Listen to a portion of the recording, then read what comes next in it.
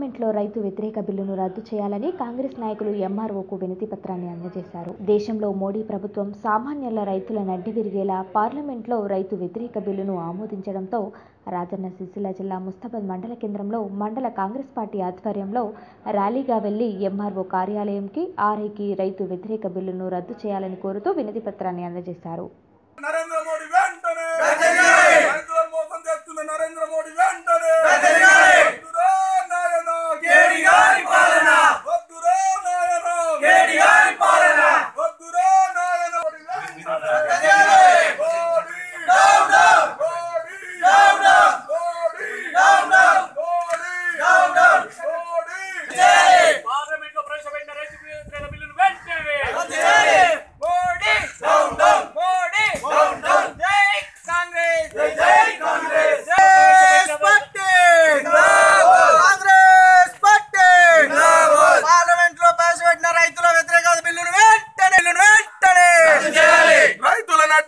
నరేంద్ర మోడీ వెంటనే